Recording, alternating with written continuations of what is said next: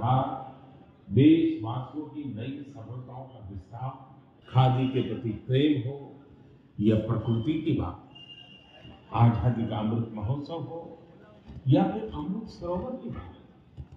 मन की बात, जिस ये आज़ाद भारत के इतिहास में पहला अवसर है कि कोई प्रधानमंत्री देश की जनता को इस प्रकार अच्छे कार्य और समाज सेवा, देश सेवा करने के लिए लोगों को सामने लाकर उनको एक मॉडल के रूप में, आइकॉन के रूप में, एक प्रेरणा के रूप में प्रस्तुत करते हैं, जिससे देश के अंदर एक बदलाव आया है कि अब व्यक्ति अपने अपने परिवार के लिए नहीं जी रहा, बल्कि समाज और राष्ट्र के लिए जी रहा है। जब प्रधानमंत्री चौबीस घंटे देश की सेवा करते हैं, काम करते हैं और देश को शक्तिशाली, समृद्धशाली, प्रभावशाली बनाते हैं तो हर नागरिक का भी कर्तव्य है कि हम भी देश के लिए कुछ करें। देश हमें देता है, सब कुछ हम भी तो कुछ देना सीखे।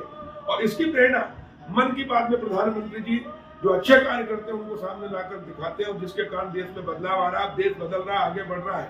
और हम विश्वास के साथ कह सकते हैं कि प्रधानमंत्री नरेंद्र मोदी जी के नेतृत्व में 21वीं सदी भारत की सदी बनेगी। भारत माता विश्व गुरु के स्थान पर पहुंचेगी।